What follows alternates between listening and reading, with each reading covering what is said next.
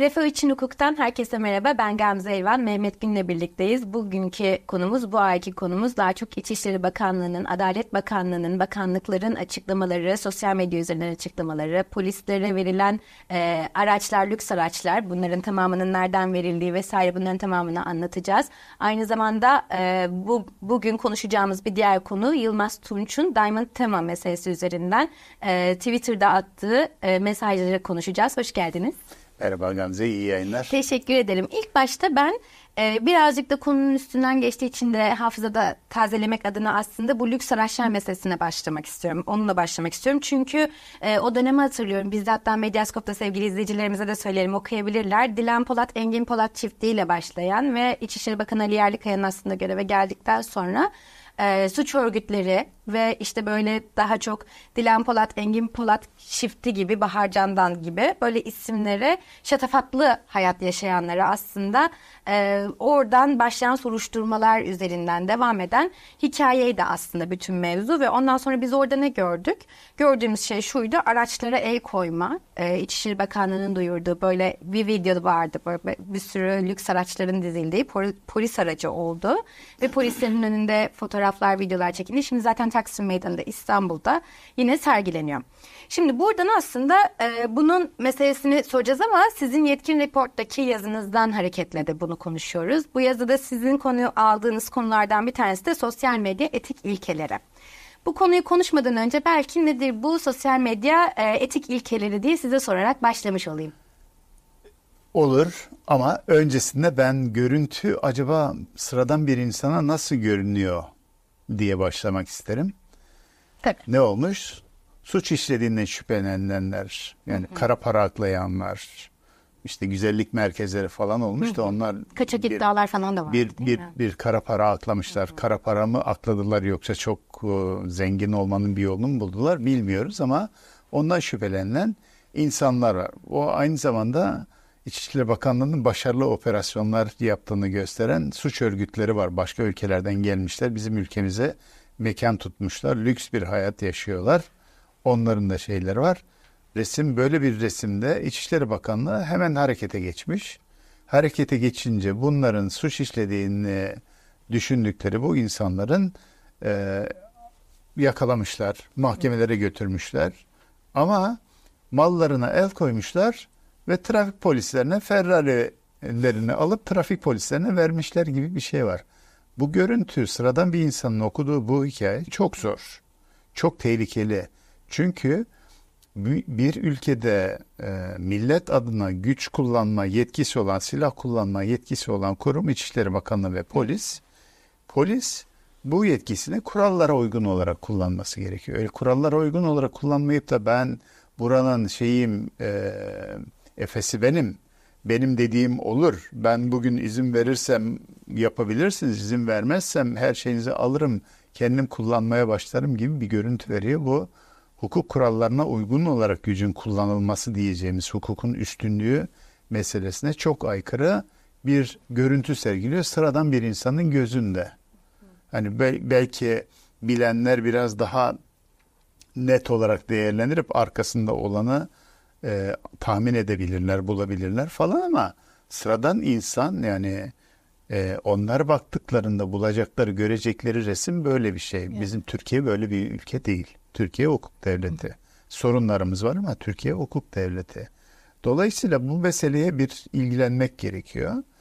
Ben yetkin reporta yazmamın sebebi dikkat edersen İçişleri Bakanı'nın bu açıklamaları yapmasının üzerinden 4-5 ay geçti. Hı yazmadım o zaman. Dedim ki bir yanlış anlaşılma olabilir, yanlış bir karar verilmiş olabilir gibi. Geçenlerde bayramda ben bayramda ailemi ziyarete gittim yaylada. O ziyaret sırasında bir baktım İşler e, Adalet Bakanı'nın Diamond tema ile ilgili olarak tweet'i ortaya düştü. O da bambaşka bir görüntü veriyor. Benzer bir tehlike görüntü veriyor. Dedim ki yani biz bizim hukuk devletiyiz. Hukuk kurallarını en iyi bilmesi gereken iki tane kurumdan böyle yanlış anlaşılmaya müsait bir şey çıkıyor. Bunu niye yapıyorlar? Bunun en basit şeyi şu kurallara aykırı dediğinizde kanun maddesi böyle diyor bunu diyemezsin gibi demek gerekiyor da biraz daha softuna almak lazım. Çünkü iki bakanlığın niyeti de başka bir şey.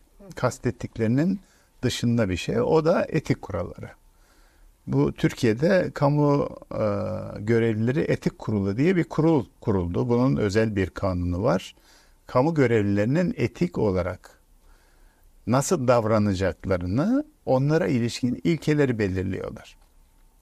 Bu ilkelerden bir tanesi 3 sayfalık bir yazı bu. Bence çok geniş e, uzatılabilir bu yazı, e, bu karar. İzleyicilerimiz için link koyarız YouTube'a. Hem de evet. web sitemizde de e, koyarız evet. ki her biriniz herkes okuyabilsin. Evet. Gerçekten çok kapsamlı ve çok kıymetli bir yazı evet, kalemi. Orada böyle herkesin okuduğunda anlayabileceği, evet, mutabık kesinlikle. olacağı, bir itiraz edeceği bir şey yok. Güzel bir evet. metin ortaya çıkmış. Böyle hukukçuların yaptığı gibi çok lüzumsuz uzun değil.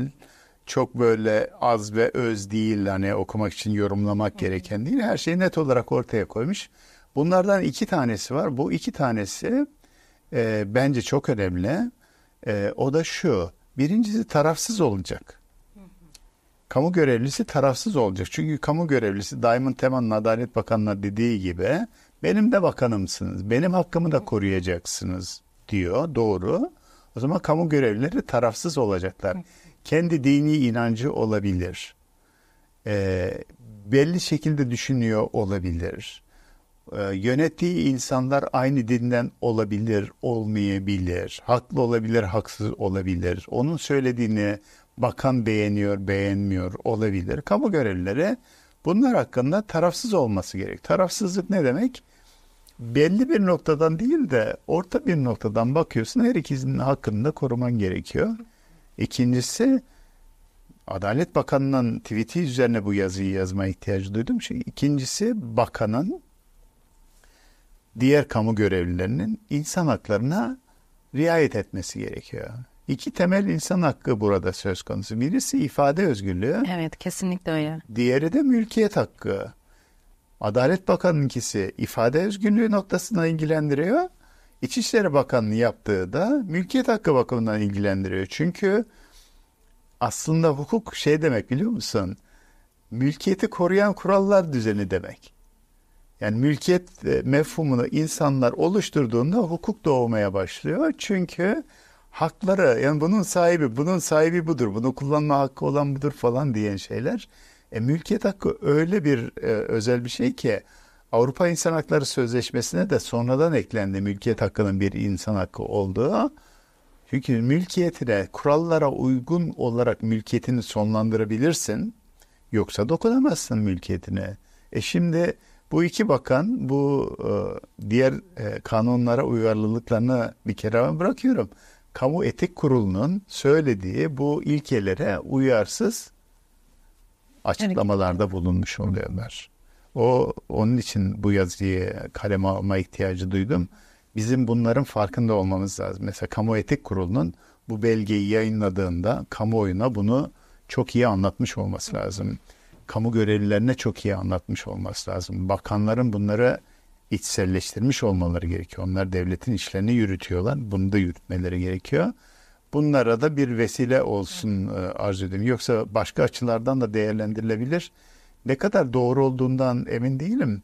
İçişleri Bakanlığı'nın araçlara el koyma, yani araçları polis aracına döndürme konusundaki işlemini yanılmıyorsam Sakarya'daki bir mahkeme iptal de etmiş. Hı. Başka kurallara aykırılıktan dolayı. Ama temel mesele şu. Etik şey demek. Ahlak demek. Bizde ahlak kelimesi biraz kullanınca inciniyoruz. Onun için etik kelimesi Daimut temanın başına gelenler. Yani etik kelimesini kullanıyoruz. Çünkü ahlak dediğimiz ahlaksız gibi oluyor. Bu bizi incetiyor gibi. Bizde de şeyler olmuş. Etik, etik için yabancı dilden gelen bir kelime. Buna ahlak bilimi diye söylüyorlar. olabilir. Neyse bu böyle yerleşmiş. Yani etik meselesi insanların uyup uymama konusunda serbest olduğu bir şey. Yani ahlak kuralları doğruyu, iyiyi nasıl bulursun diye bize öğretilen bir şey. Toplum bize diyor ki böyle davranırsan diğerleri senin davranışını tasdik eder. Böyle davranırsan tasdik etmez seni eleştirir. Etik bu demek. Ama uyup uymamak senin şeyine. Yani sen davranmadın, seni ayıpladılar. O senin bileceğin bir şey. Ama biz sana illa böyle yapacaksın diye bir şey diyemiyoruz. Fakat kamu görevlileri etik kurulunun çıkardığı karar bundan bir adım ötede diyor ki sen kamu görevlisiysen polis isen, bakan isen, kim olursan ol, kamu görevlisi toplum adına onun işlerini yapan bir görevliysen sen bu kurallara uymakla yükümlüsün. Çünkü seninkisi sıradan bir insan değilsin. Sen başkasının işini yapıyorsun. Onun işini yaparken bu kurallara uymak, bunlarla uyarlı davranmak zorundasın yani. İşte bu baştaki sorunun cevabı biraz uzun oldu ama etik kuralları demek bu demek. Kamu görevlileri için etik kuralları yani sıradan insanlar için uygulanan ahlak kurallarının biraz daha ötesinde. Bu kurallara uyarsan görevini iyi yapmış olursun. Bu kurallara uymazsan görevini yapmış olabilirsin ama iyi yapmış olamazsın denilen kurallar. Onun için bakanların ve diğer kamu görevlilerinin bunlara uygun davranması gerekiyor. Biraz daha e, şeye gireriz. Daha ayrıntılı gireriz. Hem işte e, Yılmaz Tunç'un, Yusuf Tunç diyecektim. Yılmaz, Yılmaz, Yılmaz. Tunç'un Adalet Bakanı'nın açıklamasına biraz daha gireriz. Ama onun öncesinde e, Ali Yerlikaya'nın aslında hem sosyal medyadan duyurması e, aslında videoyu bulabilsek e, belki bizim arşivde vardır. Varsa Özge'den rica edelim yoksa da sağlık olsun diyelim. Linkini koyarız. Benim e, şeyde e, yetkin report yazımın hı hı. ikinde bu onlar kırmızıyla ayrıştırıyorlar o linkleri. Orada bulabilirsin. Evet izleyicilerimiz oradan da bulabilirler. Ben de e, linkleyeceğim hepimizi. E, orada şeyi hatırlıyorum ben. E, mesela böyle videolar konuldu, edildi, çok tartışıldı. O zaman da mesela bunu sormuştuk biz. Yani bu mallara el konulabiliyor mu? Yani böyle bir hakkı var mı? Mahkeme buna nasıl e, şey yapabiliyor ve bunu polis aracı olarak kullanabiliyorlar mı her şeyden öte? Yani e, bunu bize birazcık değerlendirir misiniz? En, en basiti şu. E, Türk Ceza Kanunu 54. Hı. ve 55. maddeleri var. Bir suçun işlenmesi için tahsis edilmiş. yani kasıtlı olarak işlenilen bir suçun işlenmesinde kullanılmış, o suçu işlemek için kullanılmış olan eşya ya da planlanan bir suç var. Henüz işlenmemiş ama planlanmış, o suçu işlemek üzere hazırlanmış olan bir eşya var. Bu eşyalara el konulabilir. Şartı ya işlenmiş, kasıtlı olarak işlenmiş. Mesela kusur sonucu bir e, bir suç ortaya çıkıyorsa onda değil, kasıtlı ben suçu işlemek istiyorum diye kendi içinden bir kararla yaptığın bir suç olması lazım ya da böyle bir suçu işlemek üzere bir hazırlığın olması lazım. Onun için hazırlaman lazım. Ya da Dilan Polat'ınkisi buna giriyor. 55. maddeye göre bir suçun işlenmesi sonucunda ortaya çıkan bir kazanç, maddi değer ya da bunların dönüştürülmesi sonucunda mesela kara parayı aklamış, bunun sonucunda paralar almış, aldığı paraları arabaya dönüştürmüş. İşte bu dönüştürmenin sonucunda ortaya çıkan eşyalara e, el konulur, müsaade edilir. Ne zaman müsaade edilir? Dava yapılır, yargılama yapılır. Yargılamanın sonucunda mahkeme o kişinin suçlu olduğuna karar verir. Türk Ceza Kanunu 54 ve 55. maddelerdeki suçun işlendiğine dair bir kesin karar verir. O zaman bu bunu işleyen kişiye de suçlu der. O zamana kadar önce savcılık aşamasında şüpheli, savcı dava açtıktan sonra sanık, mahkeme kesi karar verdikten sonra da mahkum olur. Şimdi bunlar da mahkum olmuş olması gerekiyor kişinin eşyasını müsaade edebilmek için. Müsaade etmek böyle kanuna aykırı bir eşya ise yakmak, yok etmek mesela uyuşturucularda böyle şeyler yapılıyor. Eğer maddi değeri olan ama kullanılması vesaire suç olmayan başka bir eşya ise mesela arabalar ise bunların da müsaadesi şöyle oluyor. Mülkiyet hakkını onlardan alıyorsunuz. Devlete geçiyor, kamuya geçiyor. Kamu bu malları ihaleye çıkarıyor. Bu konuda Milli Emlak Müdürlüğü var ihaleyi yapan. Onlar ihale açıyor. Diyor ki müsaaderesine karar verilmiş olan XYZ araçlarının müsaade amacıyla satışına diye bir ihale açıyor. Bu ihaleye isteyen herkes giriyor.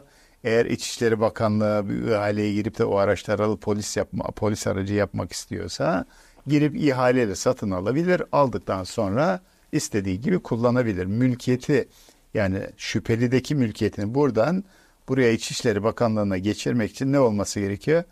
Suç işlenmiş olması gerekiyor. Mahkemenin yargılama yapmış olması gerekiyor mahkum etmiş olması gerekiyor. Mahkumiyet kararıyla birlikte bir de bu eşyaların müsaaderesine diye bir karar vermiş olması. Biz hala yargılama kısmındayız. Daha yargılamanın başlarındayız Evet. değil mi? Daha Bir çok takım var. davaları var aslında. Daha dün mesela bir Davalar. iki gün önce e, bir davadan beraat ettiler ama yani tahliye Evet, olmadılar. ama daha neticede. bitmedi. Evet, o bitmedi. beraat kararının üst mahkeme tarafından onaylanması, kesinleşmesi. O zamana kadar sanık. Ortada müsaade kararı yok. Müsaade edilmesine karar vermiş ama onun müsaade edilebilmesi için onaylanmış olması gerekiyor. Şimdi beraat etmişse zaten müsaade olmaz. Mahkum olmuşsa müsaade olabilir. Bu yıllar sürecek. Peki ne olacak? Mantıken düşündüğünde şöyle oluyor. Yani böyle bir suç işlendiği şüphesiyle birisi hakkında soruşturma açılırsa ki İçişleri Bakanlığı'nın görevi bu.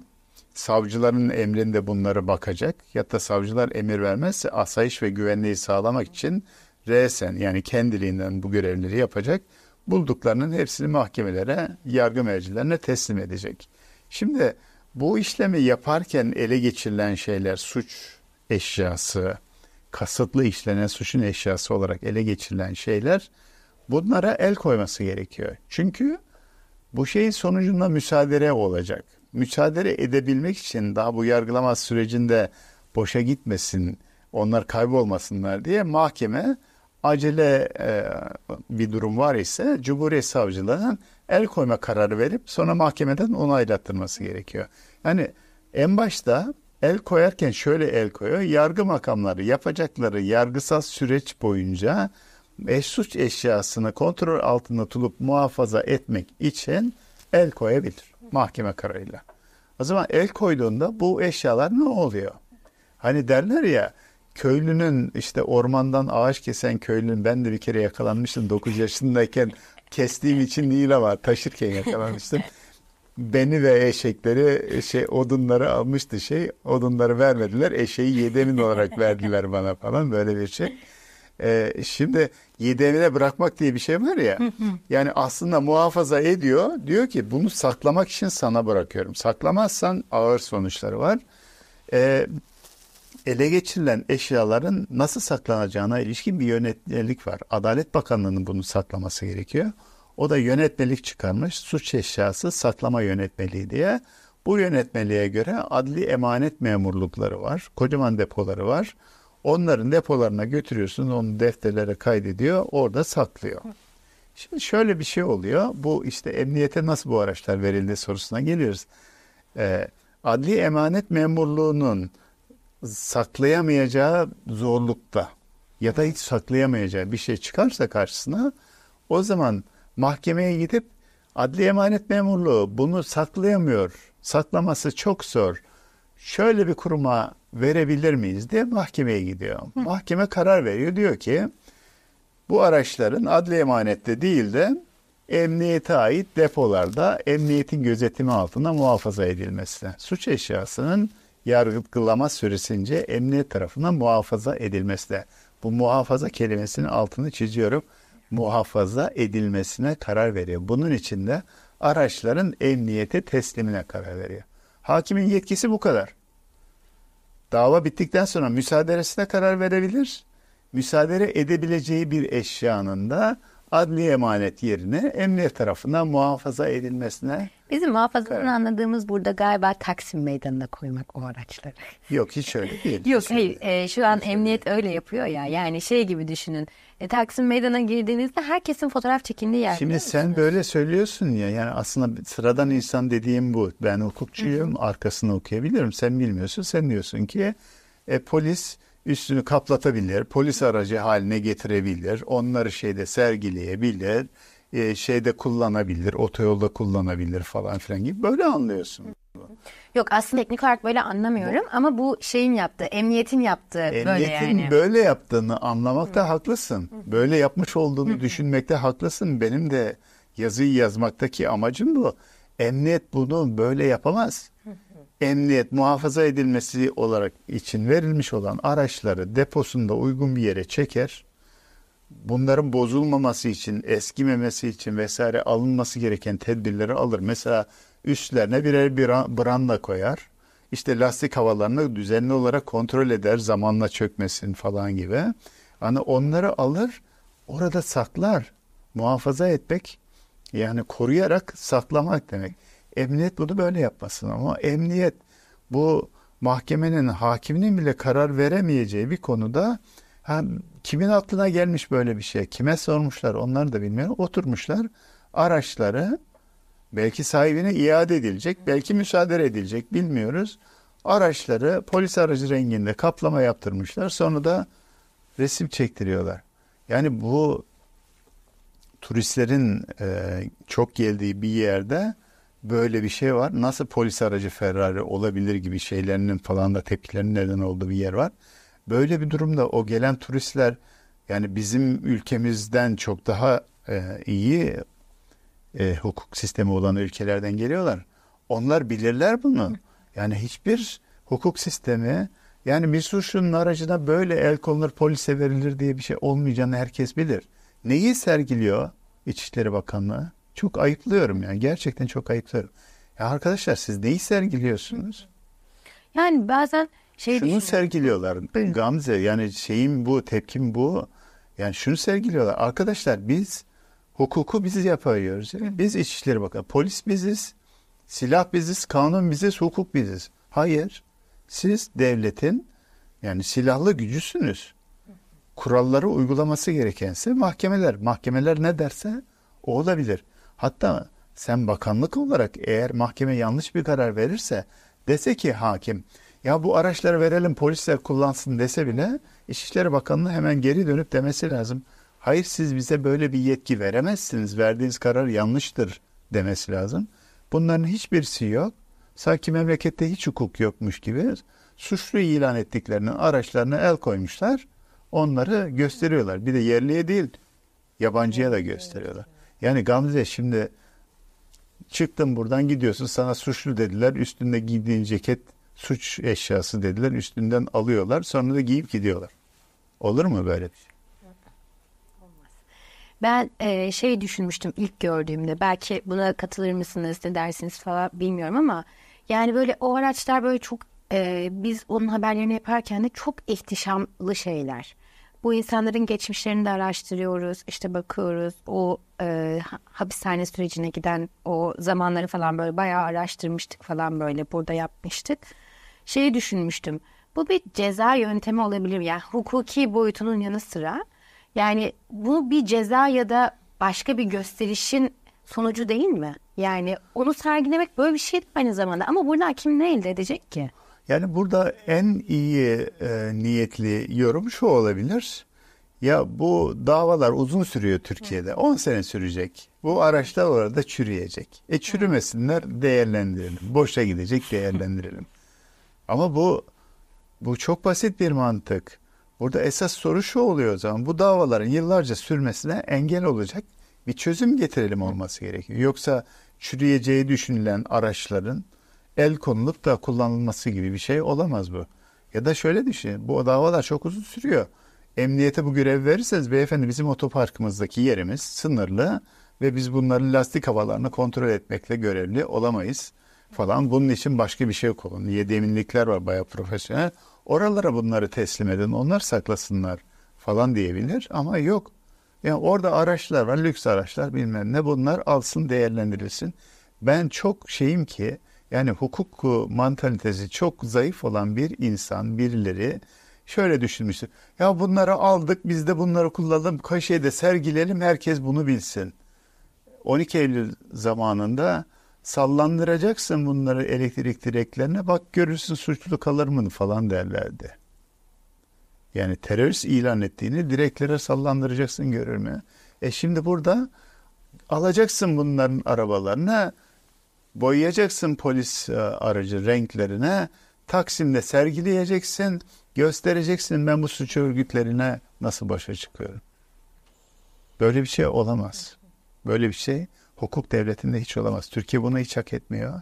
Bence bir an önce bu yaptıklarına son verseler ve yani bunu yapanlar hakkında da bir işlem yapsalar uygun olur diye düşünüyorum. Çünkü Türkiye'nin imajını sanıyorlar ki yukarıya çıkarıyorlar, aşağıya düşürüyorlar. Bir diğer konumuza geçelim mi?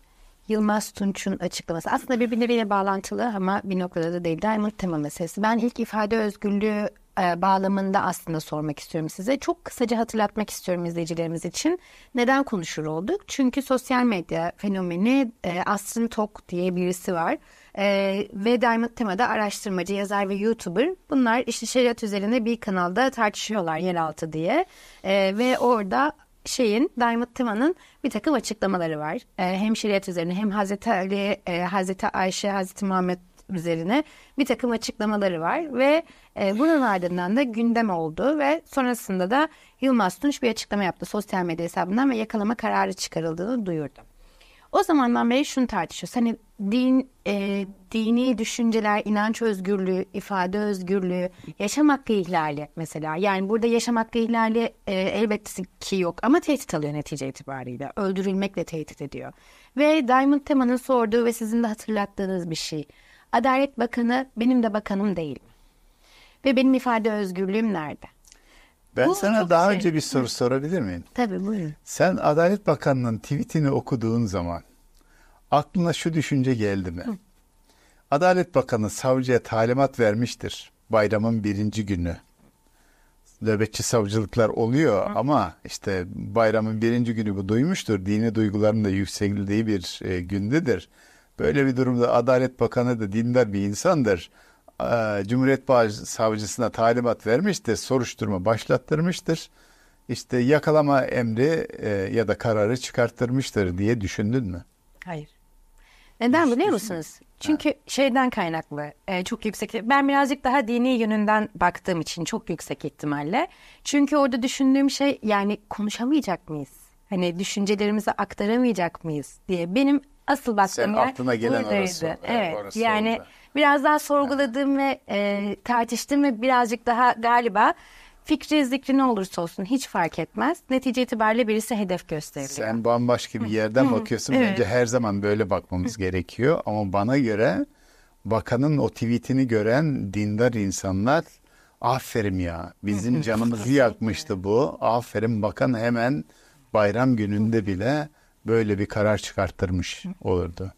Karşıt olanlar, bakanın karşıtı olanlar onu da her şeyine açığını yakalayanlar diyebilirlerdi ki ya bakana bak böyle ifade özgürlüğüne giren bir konuda savcıya talimat ver demiş. Masum bir adamın yakalanması için karar çıkarttırmış.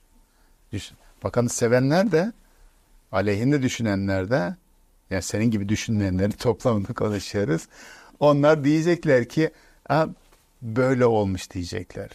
Ama bunu dediği zaman aynen hani araçları gören sıradan insanın düşündüğü gibi bakanın tweetini gören insanların düşünceleri şöyle olacak. Yargı bakanın talimatlarını yerine getiriyor. Yargı bakanın talimatlarını yerine getiriyor kanaati sıradan insan için o kadar önemli olmayabilir. Ama bir hukuk devleti midir burası yoksa siyasiler hukuku ele geçirmişlerdir de istediklerini yaptırıyorlar mıdır sorusunu soran uluslararası yatırımcı, demokrasi, demokrasi taraftarları vesaire bütün insanlar böyle baktıkları zaman onlar için büyük tehlike. Çünkü yani Adalet Bakanı şeylerin, hakimlerin ve savcıların sözcüsü değil. Yargı Adalet Bakanı'ndan bağımsız. Adalet Bakanı, Hakimler Savcılar Kurulu'nun başkanı çok etkisi var. Herhangi bir hakimin Adalet Bakanı'na direnmesi mümkün değil. Deli olması lazım. Çünkü bakan HSK'dan karar çıkartır, hakimi oradan oraya tayin edebilir. Bunu yapar anlamında söylemiyorum. Hakimin kafasında bu soru gelebilir. Bu soru geldiğinde hakim korkar. Dolayısıyla şeye direnemez. Şimdi esas mesele burada Adalet Bakanı'nın yapmış olduğu şey e, İçişleri Bakanı gibi davranmaya çalışıyor. Ses, sosyal medyayı etkin kullanmaya çalışıyor benim kanaatime göre. Ve şeyin e, mahkemelerin ve savcılıkların meselelere, toplumsal meselelere el koyup onlar için gerekli işlemleri yapacağını söylemeye çalışıyor. Ama İçişleri Bakanı emniyetin amiri ve sözcüsü, Adalet Bakanı ise yargının ne amiri ne de sözcüsü. Adalet Bakanı, İçişleri Bakanı gibi davranmak istediğinde şunu söylemiş oluyor. Yargı bağımsız falan değil. Ben söylersem de inanmayın. Bakın talimatı verdim, aldım kararı ve ilan ediyorum size gibi bir şey söylüyor. Onun için e, bu Adalet Bakanı'nın bu söylediklerinde böyle bir sakınca var. İçişleri Bakanı'nın en başta araçları sergilerken ki verdiği mesajla Adalet Bakanı'nın bu e, tweet'i atarken verdiği mesaj aynı şey. Mahkemeler, savcılıklar formalite icabıdır. Adaleti biz sağlarız. Esas mesele bu. Tamam mı? İfade özgürlüğü. Tabii ki ifade özgürlüğümüzü herkes koruyacak.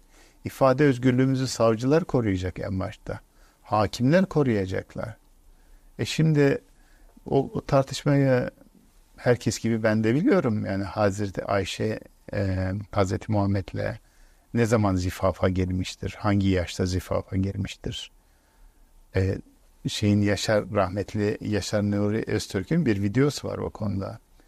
O başka deliller gösteriyor. Onlara dayanarak diyor ki e, şeyde 17-18 yaşlarında olması gerekir diyor Yaşar Nuri Hoca. 9 yaşında 6 yaşında evlenip 9 yaşında zifafa girdiğini söyleyenlerin ise e, çocuklarla dini evlilik yapmayı arzu eden kesimin uydurduğu, onların bu konuda e, gerekli araştırmayı yapmadığını söylüyor. Bir de şey var hani İslam dinini çöketmeye çalışan, e, onu kötülemeye çalışan İslam olmayan, Müslüman olmayanların yaptıkları tartışmalar var. Onlar da bu 9 yaşında olduğunu ve peygamberin sapık birisi olduğunu söylemeye çalışıyorlar. Son derece yanlış bir şey ama onlar o tartışmaya başlatınca bizim kendi alimlerimiz de bunu tartışıp doğrusunu bilmek isterlerken bu meseleyi tartışıyorlar. Bir sonuca bağlanmış değil. Sonuca bağlanmadığı için herkes bu tartışmayı yapabilir. İyi niyetle yapabilir, kötü niyetle yapabilir. Tatlı dille yapabilir, munis dille yapabilir, keskin dille yapabilir. Yani acı acı söyleyebilir. Bunu tartışmak, üstünde konuşmak, bu böyle bir yorumun doğruluğu ya da yanlışlığı konusunda bir kanaate sahip olmak bunların hiçbirisi yanlış değil. Ben e, bu söz konusu videoyu izlemedim ama tartışmanın bunun hakkında olduğunu anlayabilirim. Dolayısıyla Diamond Tema'nın başka bir şeyde e, bir videosunu gördüm. Buhari'nin bir kitabını e, çıkarmış. İhsan eli açık bir şeyler söylemiş. Sonra bazı başkaları da söylemişler. Onlardan bakınca e, bu kişinin ben de olabilirim sıradan e, dini konularda alim olmayan bir başkası da olabilir. Konuşabilir, bunu tartışabilir. E şimdi Diamond Tema'nın söylediği şey, Adalet Bakanı'nın söylediği şey tam da buradan kesiyor. Ya Sayın Bakan sen benim hakkımı da korumakla görevlisin. Hatta benim hakkımı korumakla görevli olan savcılar ve hakimlerin bağımsız, tarafsız olarak görev yapmalarını sağlamakla da görevlisin. Ama sen kalkıyorsun mesajınla diyorsun ki benim yaptığım suçtur. Bununla ilgili ceza verilecektir. Birçok insan bakanı eleştirmiş. Evet. Bakan onlara cevap veriyor. Orada işte insan haklarının şöyle olacağından böyle olacağından falan söyleniyor. Ya, ya Sayın Bakan bu ve sizin verdiğiniz mesajın neresi anlaşılıyor biliyor musunuz? Sadece şurası duyuluyor. Yani herkesin dikkati oraya şey yapmış. Ceza kanunun 200 küsürüncü maddesine göre bunlara ceza verilir. E Sayın Bakan siz bunu konuştuğunuz zaman sizin tayin edebileceğiniz hakimlerin kafasındaki oluşan şey de budur. Ya bakan burada ceza verilmesini istiyor. Ben bu cezayı vermesem acaba başıma ne gelir? Bunu düşündüğü zaman hakimin bağımsızlığı, tarafsızlığı diye bir şey kalmıyor. E Sayın Bakan siz bunların farkında olmadan niye böyle söyleyebilirsiniz? Ama şey dese ki Cumhuriyet Başsavcılığı ben bir soruşturma açtım böyle bir şey var. Bana iletildi ya da iletilmedi fark etmez. Resen soruşturulması gereken bir şey. Bu benim görev ve yetkimin çerçevesinde bana böyle bir şey iletildi. Ben bununla ilgili olarak bir soruşturma başlattım. İşte e, delilleri toplayacağım. Şüphelinin ifadesini alacağım. Bilir kişilere soracağım. Bu sözlerde böyle bir şey var mıdır yani ceza kanunda? Bu şüpheyle bir şey soruşturma başlatıyorum. Henüz sanık değil, şüphe. Bir suç işlendiği şüphesi duyuyorum. Bunun için de bunu yaptım dese savcılıklar. Kimsenin buna diyeceği bir şey yok. Şöyle diyecek. E savcıdır, görevidir, yapması lazım. E kendi kendisine bir şey yapamayacak. Yakalama, tutuklama bilmem ne isterse mahkemeden karar alması gerekiyor. O mahkeme yanlış karar verirse üstündeki mahkeme var falan. Onların da görevleri, temel görevleri fikir ve ifade özgürlüğünü korumak, geliştirmek ve insanların serbestçe konuşabileceği bir ortam sağlaması olmalı diyebilmeli. Evet. Şimdi böyle olursa işte biz ifade özgürlüğümüzün korunmasına geliyoruz. Hatta Cumhuriyet savcıları bana göre şunu da diyebilmeli. Adalet Bakanlığı'nın savcılar, hakimler üzerinde gözetim hakkı bile yoktur. Yargı adına konuşma, onların sözcüsü olma hakkı da yoktur. Adalet Bakanı'nın bulunduğu konum gereğince yargı e, yetkilileri üzerinde etki oluşturabilecek herhangi bir şeyde de davranışta da bulunmaması gerekiyor.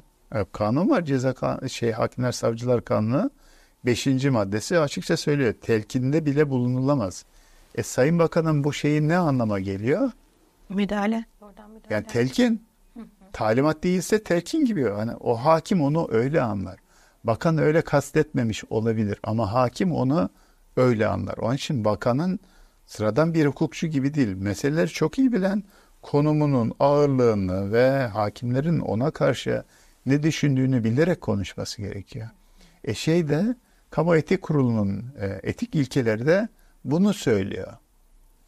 Bunu söylüyor. O zaman bakanın şöyle bir şey oluyor. Yani eğer bakan olarak sen görevini yapmak istiyorsan o zaman görevinle ilgili olan şeyleri yap, geri kalanlarını yapma. Böyle bir soruşturma açılmıştır, bilgisini ver. Bunun hakkında bir soruşturma açılmıştır, bilgisini vermem bile sakıncalı da hadi ver. Cumhuriyet Savcılığı böyle bir şey yapmış tamam kamuoyuna bir bilgi veriyorum falan diye. O bile sakıncalı. Ama bunlar suçtur. Böyle olmuştur. Yakalama kararı çıkarılmıştır. Yurt dışında olmasaydı yani yurt dışında olduğu için yakalama kararı çıkarılmıştır diyor ya. O cümlenin ters an ters tersinden çıkarılan anlam şu oluyor. Türkiye'de olsaydı hemen yakalardık. Yok bunlar olamaz yani Sayın Bakan'ın böyle şeyler e, mesajlar vermekten bu kamu etik e, sosyal medya etik ilkeleri gereğince kaçınması gerekiyor. Adalet Bakanı adalet hizmetleri için gerekli kaynakları sağlamak, bütçesini yaptırmak, işte politikalarını belirlemek falan bu konulardaki şeyleri sağlamakla meşgul olması lazım. Adaleti ben gerçekleştiririm. İşte kamuoyunu rahatsız eden ya da kamuoyundaki bir kesimi rahatsız eden böyle bir şey olursa ben onun hemen işte soruşturması açtırırım gibi bir intiba oluşturmaması lazım. Bu bakımdan şeyle e, Adalet Bakanı'yla taklit ettiği e, İçişleri Bakanı arasında bir benzerlik olduğunu düşünüyorum. Bu iki mesajları mesajları bağlamında. E, bunu biraz da şöyle de değerlendirmek lazım. Acaba yani doğru davranış ne olabilir? Etik ilkelere uyarlı davranış ne olabilir? Bu da şu. E, alın bir başka bakanı alın. O başka bakanla karşılaştırın. Ben aldım Mehmet Şimşek'in mesajlarını da takip ediyorum. Onları da bakıyorum. Mehmet Şimşek'in mesajları bazı siyasi konular var. Onları şahsi hesabından konuşmasında sorun var. Bakanlıktan konuşamaz. Bakanlık hesabından. İkisi de bakanlığın hesabı da var. Kendi şahsi hesapları da var. Mehmet Şimşek tam da etik kuralların tavsiye ettiği yerde duruyor. Belki yani İngiltere'de yaşıyor ya e, finans piyasalarında da çalışıyor ya belki onun etkisi de olabilir. Tam orada duruyor. Ben o bakımdan takdir ediyorum kendisine. Ali Yerlikaya'nın mesajları da şu mesajı veriyor vatandaşa. Biz çalışıyoruz. Siz güvenlikte hissedebilirsiniz. Süper. Ama Ali Yerlikaya'nın işte bu yargıya ilişkin olan konulardaki mahkeme kararıyla araçlar bize verildi ve biz de bunu emniyetin kullanmasına verdi laf var ya. Orası görevinin gerekleriyle uygun değil. O da öyle bir karar verilmiş olamaz. Öyle bir karar verilmiş olsa bile yanlış olur. Dolayısıyla Ali Yerlikaya o şeyi yapmadan önce bir hukukçusuna sormalı. Gerçekten böyle bir karar, bu anlama gelen bir karar verildi mi verilmedi mi diye söyleyip o cümleyi oraya koymaması, araçları videosunu yayınlamaması uygun olurdu. Onu muhafaza edebilir. Yani mahkeme kararıyla muhafazası için bize verildi. Depolarımıza şuraya park ettik. Güvence altındadır. Mahkeme müsaade eder, et, karar verirse mu, müsaade kararı verirse ona göre işlem yapılacaktır diye. Hatta onun da görevi değil bunu söylemek. Tamam mı? Yani mahkeme muhafaza edilmesi için araçların emniyet teslimine karar verildi. E bunun ne değeri var? Haber değeri var emniyet için. Doğru. Vatandaş için de haber değeri yok. Haber değeri şeyden çıkıyor. Mafyanın araçları polis aracı oldu deyince çıkıyor. O zaman şey gariplik oluyor. Aa ne oluyoruz falan gibi oluyor. Dolayısıyla bu şeylerin e, İçişleri ve Adalet Bakanlarının verdikleri mesajlara bir etik kuralları süzgecinden geçirmesi gerektiğini düşünüyorum. Nitekim yazımın başlangıcı da onu söylüyor. Ben çok teşekkür ederim. Benim açımdan e, hukuki anlamda çok da bilmediğim aslında e, yerler. E, çünkü e, şöyle benim mesela bu Diamond tema hikayesinde de Dilan Polat hikayesinde de bu arada size anlatırken aklıma bir de Eylem Tok e, ve oğlunun e, tutuklanma süreci de bu arada geçti. Çünkü o da, onu da Yılmaz Tunç duyurmuştu. İlk gözaltına alınma süreci vesaire de galiba birazcık şeyin de etkisi olabilir. Siz ne dersiniz? Kamuoyunun bu takım e, bu ve benzeri mesela işte Diamond temadır, işte Polat çiftleridir. Çok fazla ilgisinin olması ve bu ilginin üzerinden e, biz işimizi sizin de söylediğiniz yerden güvenliğinizi sağlıyoruz, işimizi yapıyoruz. Hiç merak etmeyin. Bütün her şeyin önüne geçiyoruz gibi mesajlar vermeye çalışması ve bunu verirken de aslında e, pek çok şeyde ihlal ediyor olmaları. Hukuki anlamda ben bunu bilmiyordum. Sizden öğrenmiş oldum. İlk yazınızı okuyarak öğrenmiş oldum. Şimdi çok daha detaylı dinleyerek öğrenmiş oldum. Çok teşekkür ederim ayrıca bunlar için. Ama bir yandan da e, sorguladığım şey şu oluyor. Biz bir takım kurallara uymak zorundayız. Uymalıyız. Olması gereken bu. Ama e, yöneticiler uymuyorsa devamını getiren aynı kademedeki insanların da o zaman belki de yani ya da benzeri kademedeki e, görevlilerin de onları da sorgulamak zorundayız o zaman. Çünkü yani onlar da benzer yoldan gidecekler. Doğru değil mi? Bilmiyorum. En azından ben e, etik arıyorum. Bilmiyorum. Böyle düşünüyorum. Yani bizde bu konuda güzel atasözleri var da bunlardan daha şey olanı tercih edelim. Hani balık baştan kokar diye evet. bir şey var. Baştan itibaren aşağıya kadar bu gider.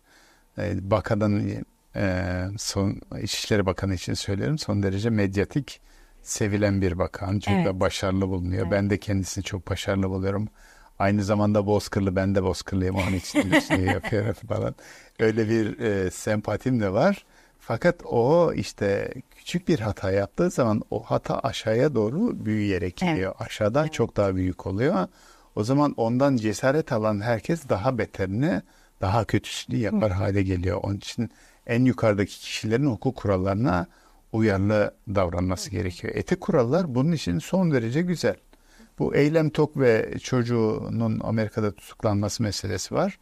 Orada da mesela Adalet Bakanlığı'nın o, o meseleyi duyururken ki duyuruş şeklinin sorunlu olduğunu düşünüyorum. Evet, Neden evet. düşünüyorum?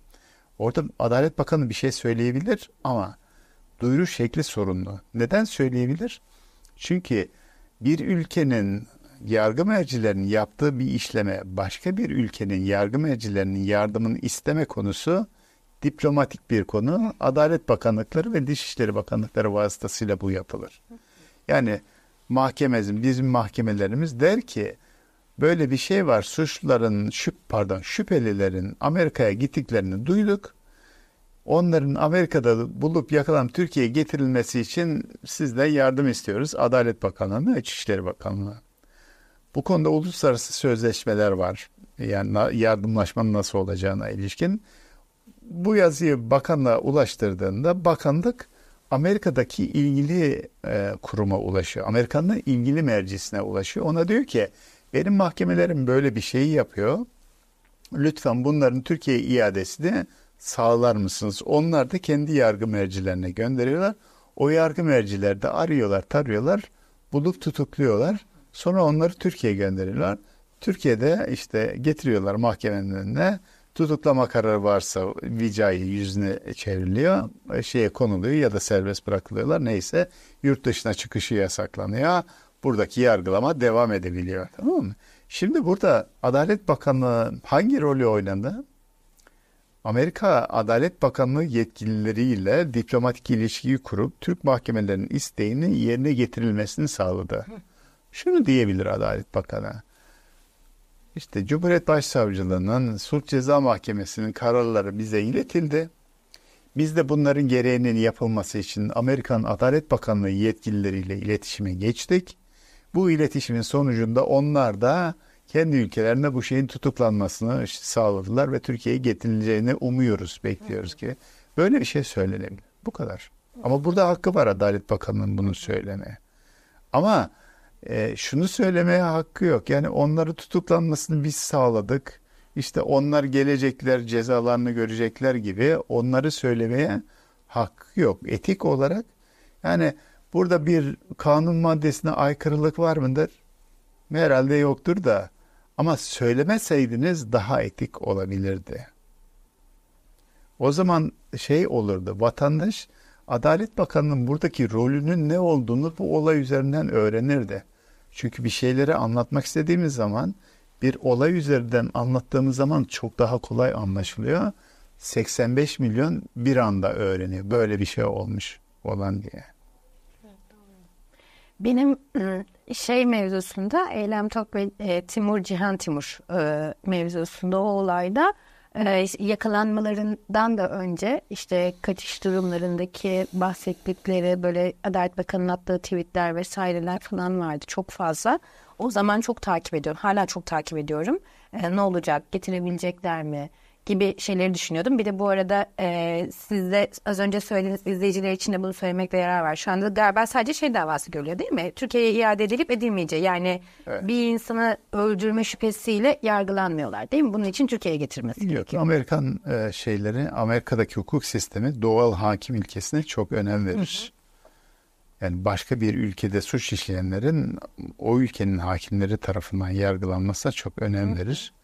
Onun için şimdi Türk makamlarının, Türk adli makamlarının e, yardımına koşuyorlar. Ben bunları yakalayayım. Sonra iade edeceğim Türkiye'ye. İade edeceğim mi edemeyeceğim meselesi de bir Amerika'nın kendi iç hukukunda bir e, yargılama meselesi. Şimdi Julian Assange var ya Hı. o da Amerika'ya iade edilecekti. Hı. İngiliz mahkemeler uzun süre uğraştılar.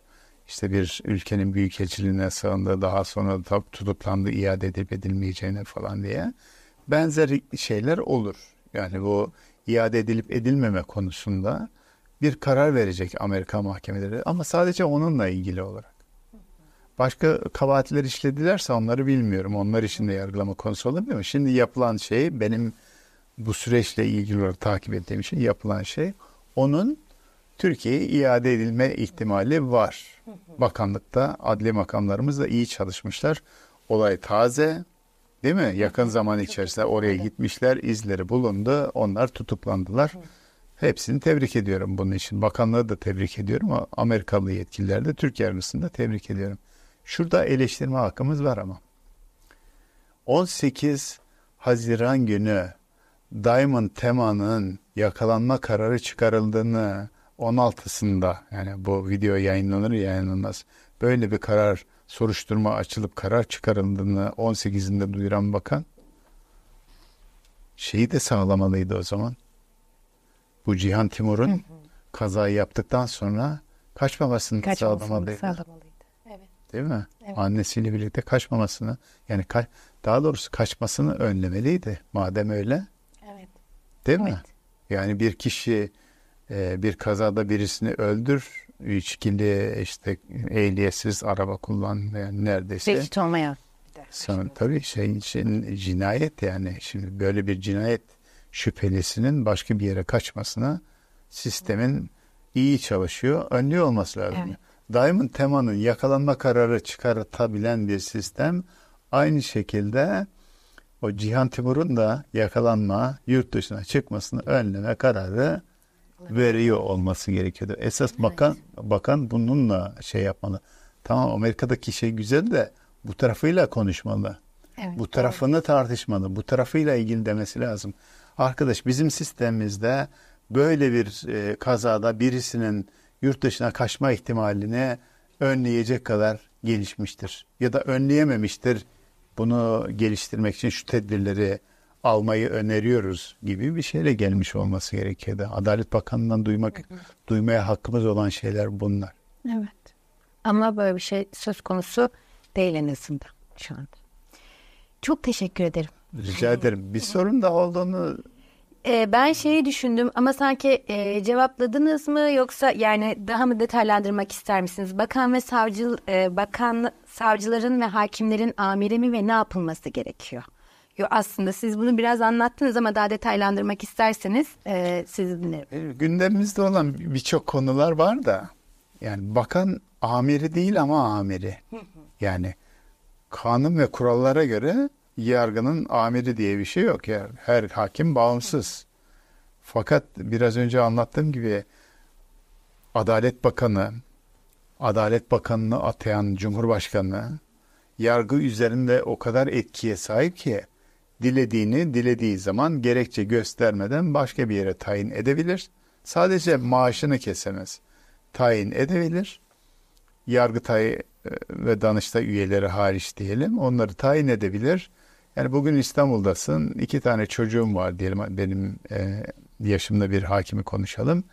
Ondan sonra o çocukları üniversiteye gönderir. Lojmanda oturuyor. E, buradan e, Erzurum'a tayin olursam Erzurum'da bana bir lojman verirler ama çocuklarım buradaki lojmandan çıkmak durumunda kalıyor. O zaman ne oluyor?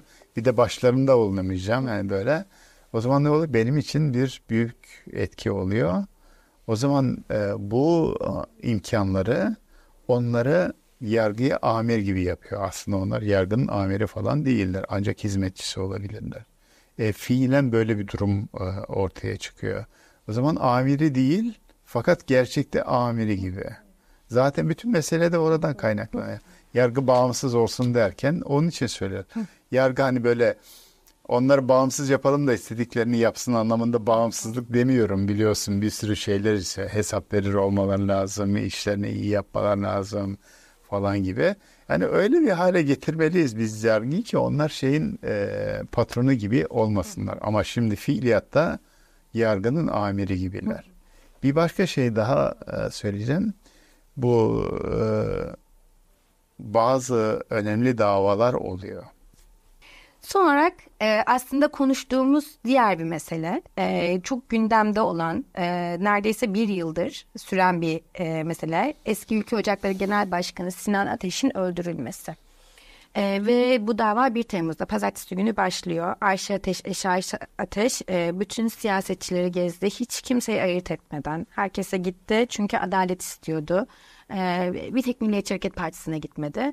Milliyetçi Hareket Partisi'ne de işte e, grup toplantısında Bahçeli bir takım açıklamaları oldu bu davaya. Sadece avukatlarını göndereceklerini söylediler vesaire. Ben böyle bir çok kısaca olayı özetlemiş bulundum. Tutuklular var ama e, Ayşe Ateş yeterli değil diyor. Bir takım e, asıl sorunların tutuklu olmadığını söylüyor vesaire. Ben aslında bu dava ile ilgili e, size sormak istiyorum. Davaya nasıl bakmamız gerekiyor? Ne demek istersiniz Sinan Ateş davası ile ilgili? Bence kamuoyunun bu davaya şu noktadan bakması uygun olur. Yani bu dava hakkında niye bu kadar çok tartışma oluyor? Bir insan öldürülmüş genç yaşta bir insan geriye eşi ve çocukları kalmış. Siyasi bir e, suikast olduğu söyleniyor. E, çeşitli siyasi grupların e, buna dahil olmuş olabileceği söyleniyor. E, o sebepten dolayı e, sürece, soruşturma sürecine müdahaleler olmuş olabileceğinden endişe ediliyor. E, görevini iyi yapan savcılar olduğu söyleniyor. Onların iyice böyle detaylı olarak e, araştırma yaptıkları ve sorumlulukları belirledikleri, bunlar için iddianame düzenledikleri, e, bu iddianamenin düzenlenmesinden sonra işte görevden alındığı, başka yere tayin edildiği falan gibi şeyler konuş. Konuşulan şeyler çok fazla. Üstüne üstlük evet. bir de şunlar konuşuluyor. Yani bu siyasi gelişmelerin bu davadaki gelişmelerle e, e, ilintili olduğu, aralarında bir korelasyon olduğu, işte e, Cumhurbaşkanı ile bir siyasi parti başkanının görüşmesinin konusunun bu olabileceği gibi bir sürü şeyler konuşuluyor. Bu bir bağımsız, tarafsız yargı olması ülküsüyle çok çelişkili. Hani bu diğer bakanların yaptıkları bunun yanında solda sıfır kalıyor diyelim de bu durum çok daha kötü bir şey. Şöyle oluyor. Mahkeme salonlarında ya da savcılıklarda ne olması gerektiğine siyasiler karar veriyorlar gibi. Evet. İşte olayın e, ciddiyetine göre, ağırlığına göre daha yukarıdaki liderler konuşuyorlar. Ağırlığına göre daha aşağıdakiler konuşuyorlar. Ya bir kişi konuşuyor falan gibi bir şey ortaya çıkıyor. Bu resim biraz önce İçişleri Bakanı, Adalet Bakanı ile ilgili olarak söylediğim resim var ya onların oluşturduğu resmi bu biraz daha tamamlıyor. Böyle olunca da böylesi oluyor falan gibi.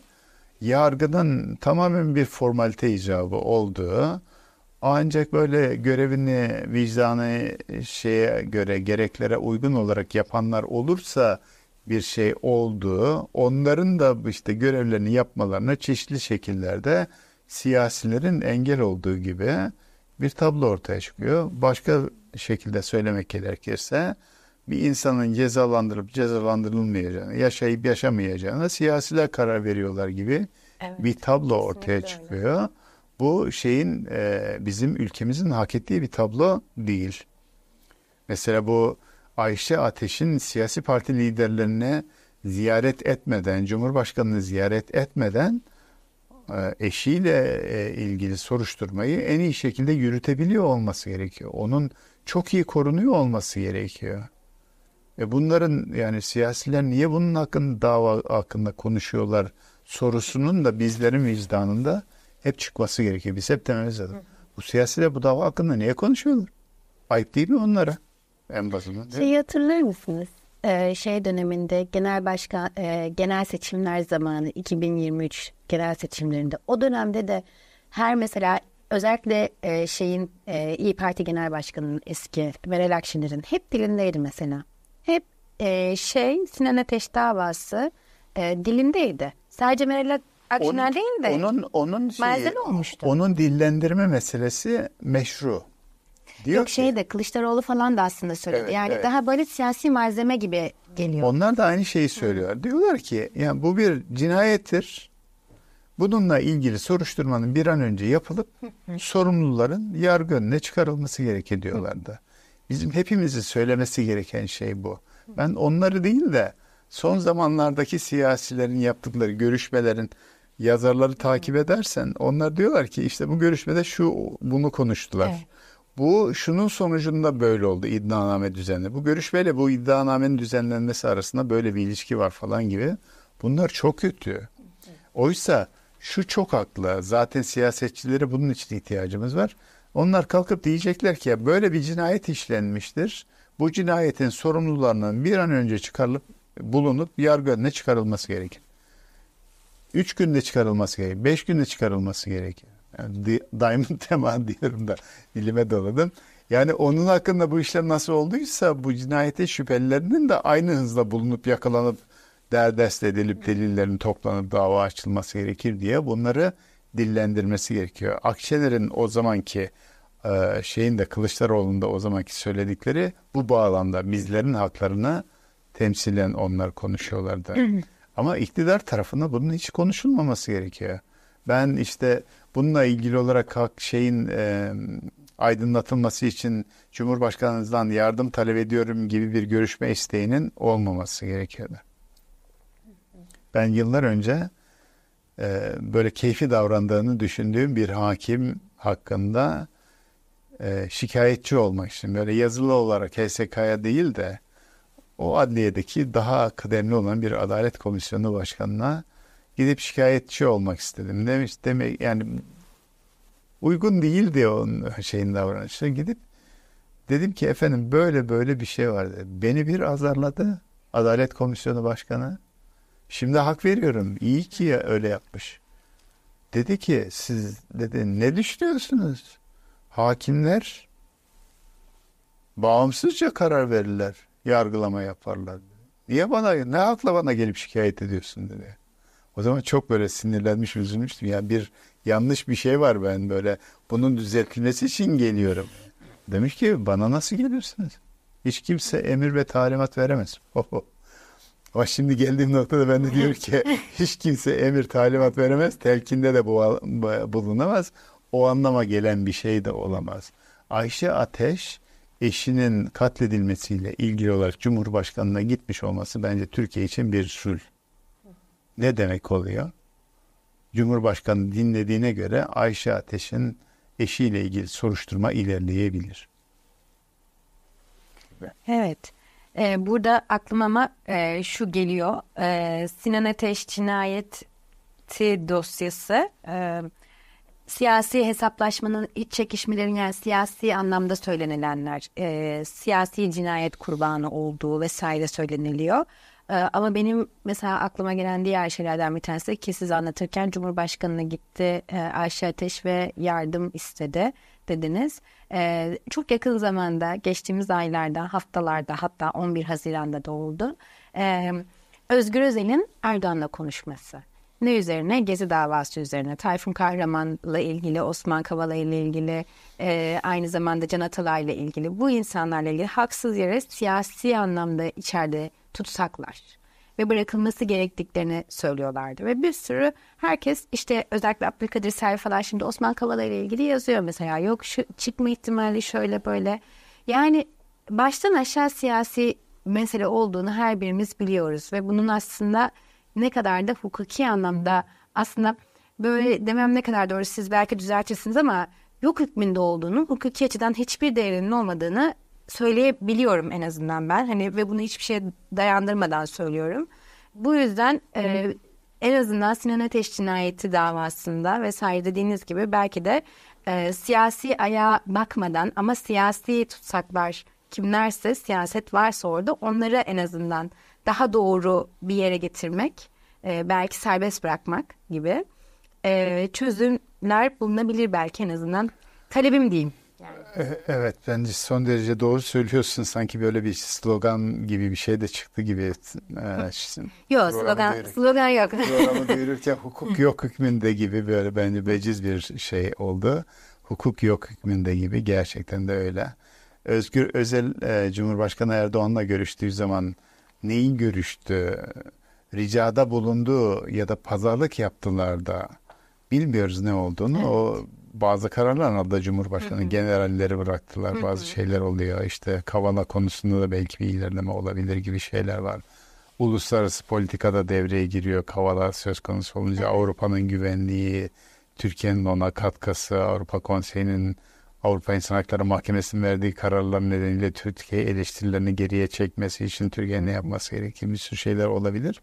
Fakat şöyle bir şey olmamış olmasını çok arzu ederim ben de senin gibi.